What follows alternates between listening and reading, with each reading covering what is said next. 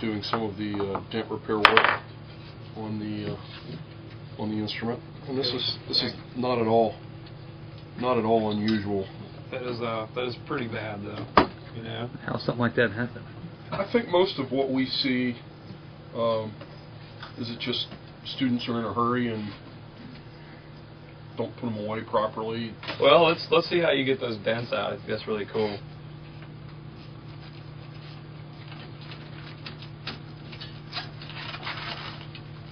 Wow.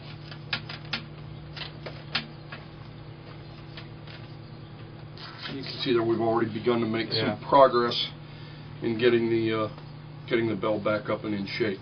That's incredible. You know, I mean, what about these little divots here? Because that seems like a little bigger more, tool like little that is more, going to work. little more detailed anvil such as this, Okay. and then use a use a plastic or a metal hammer and tap the dent out from the Okay. other side Okay. against this surface.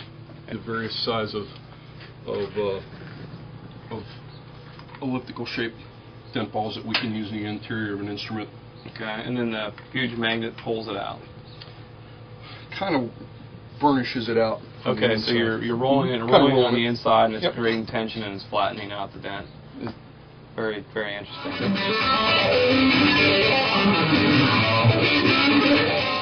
We use uh, ultrasonic technology Okay. to do to do cleaning. That's pretty new though, isn't it? Didn't, didn't you used to It's probably? relatively it's relatively new in our industry. We used to chemical soak instruments for a long period of time in a, Mhm. a mild acid type solution. Okay. And now with the ultrasonic technology, what we've been able to do is cut down our time that the instrument is in, in the solution, Okay. but do a more thorough job in removing interior buildup. Okay. Obviously, when when a when a player plays an instrument o- over a long period of time, Mhm. the stuff that we blow through our horns builds up uh, on the inside surfaces. What kind of stuff is that? Out of curiosity, what do you think? It's whatever comes out of our mouth.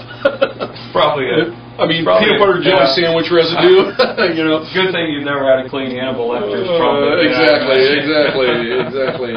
The um, um, you know the resi- the residue really looks like a kind of a white calcium kind of deposit after Okay. it, after it sort of settles and dries. But what we want to do is is get it out of there in a safe way that we don't damage the tubing of the instrument, we don't damage the finish, Mhm. etc.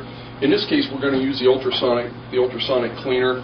Um, there is a mild acid solution that is used here, but it's much milder than we than we used to have to Okay. use. It's very very It's safe. kind of a D-limer then. It's Kind of a right, D-limer, so it's- exactly, It's like exactly. that stuff they sell you to clean your coffee pot with, somewhat. Somewhat similar. Somewhat, Yes. okay. Now, the neat thing about the ultrasonics is there is a chemical action, but there's also kind of a scrubbing action that Okay. occurs as the sound waves go through the go through the liquid. And I'm going to go ahead and, and just drop this instrument in the liquid.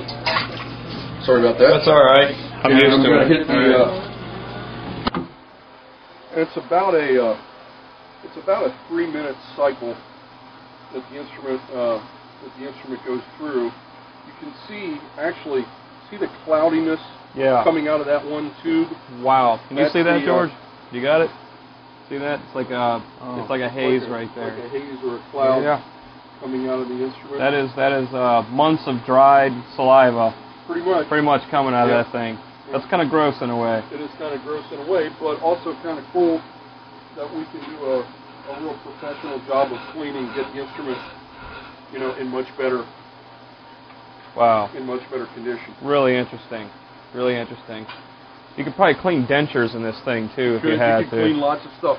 We also will do the small parts Uh huh. um, as part of the same process. They'll be dropped in and, and run in very much the same way. All right.